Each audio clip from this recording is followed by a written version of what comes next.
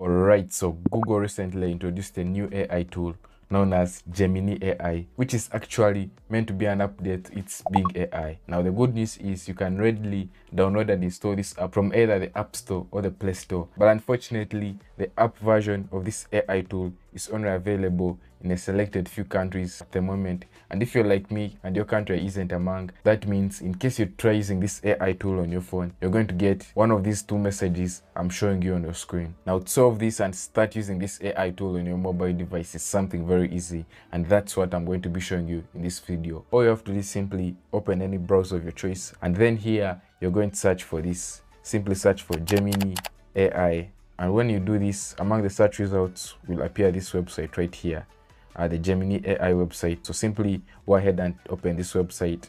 And when you open it the first thing you're going to be asked is of course to sign in into your google account.